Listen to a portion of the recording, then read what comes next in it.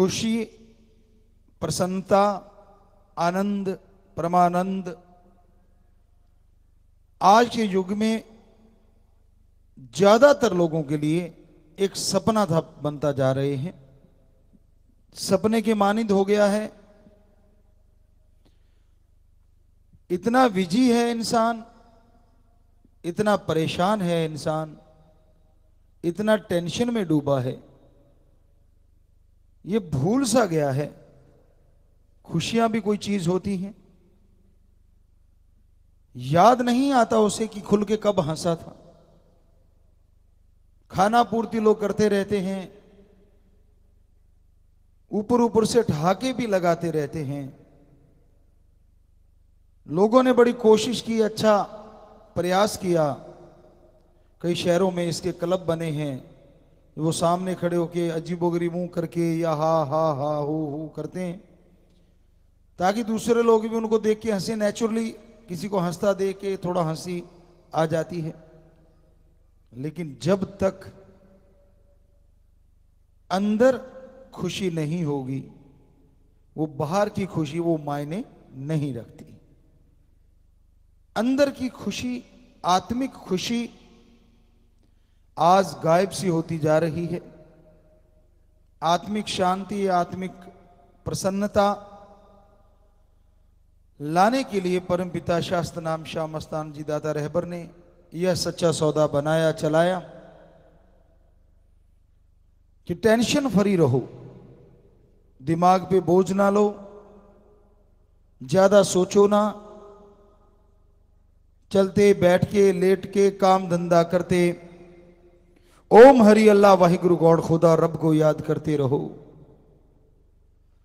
तो आप अपने गम को गलत कर पाएँगे, टेंशन फ्री हो पाएँगे, संतुष्टि अंदर ले आएँगे, तभी मालिक की कृपा दृष्टि के लायक आप बन पाएँगे। तभी सच्ची प्रसन्नता, सच्चे आनंद का अनुभव होगा। वरना तो खोखली हंसियाँ हो गई हैं। दिखावा हो गया है, या फिर गंदी सोच के साथ लोग किसी को देख के हँसते हैं, मुस्कुराते हैं। अदरवाइज़ नेचुरली मुस्कुराना बड़ा मुश्किल हो गया है। काम धंधे का बोझ है बिज़नेस व्यापार का बोझ है, बेरोजगारी का बोझ है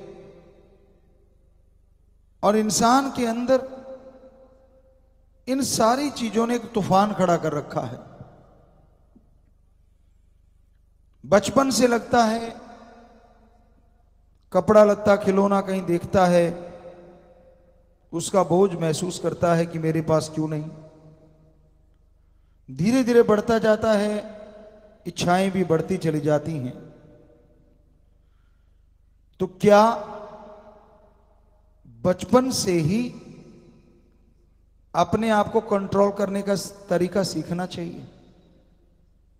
आप किसी भी कंप्यूटर को, किसी भी लैपटॉप को, किसी भी फ़ोन को सीख सकते हैं कंट्रोल कर सकते हैं, लेकिन क्या कभी आपने अपने आप को कंट्रोल करने के लिए टाइम दिया है?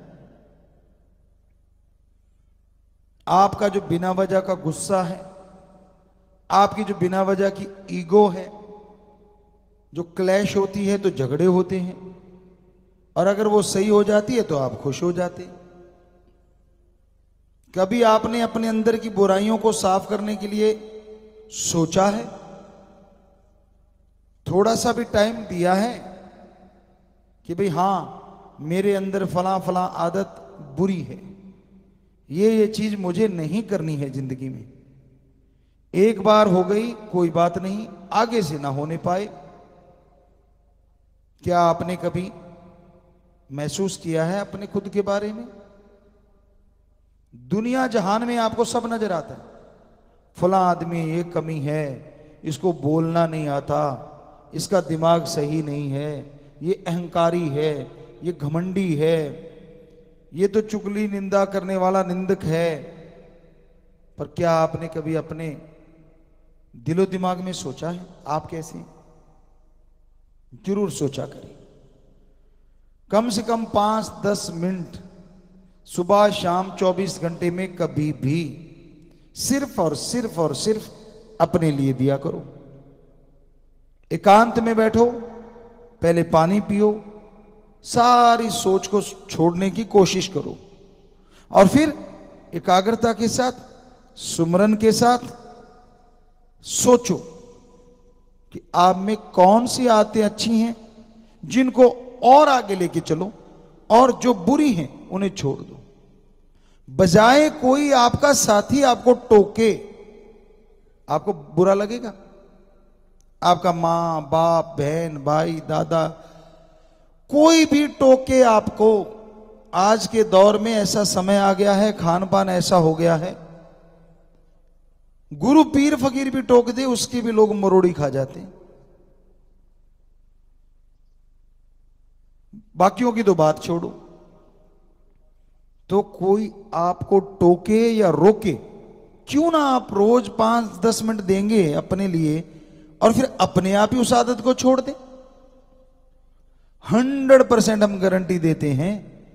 जो मालिक का नाम लेने वाले हैं, वो तो हंड्रेड परसेंट जान जाएँगे, आपको कौन सी आदतें लगी हुई हैं। नॉर्मल इंसान जो सुन रहे हैं, आप पानी पीजिए, थोड़ा सा ओम हरि अल्लाह वाहिगुरु को याद कीजिए। यकीन मानो, आपको भी फीलिंग आएगी कि हाँ ये मेरी आदत गंदी है, ये मेरी आदत अच्छी है। करना बड़ा आसान है। फिर उस पर अमल करना ज़रूरी है कि हाँ, इनको छोड़ना है, इनको अपनाना है। तो आप करके देखेंगे, सुखी आप रहेंगे, परिवार रहेगा, समाज रहेगा तो देश अपने आप ही जुड़ गया। तो अपनी सोच के बारे में, अपनी आदतों के बारे में सोचना अपने आप में बेमिसाल बात है। छोटी बात नहीं है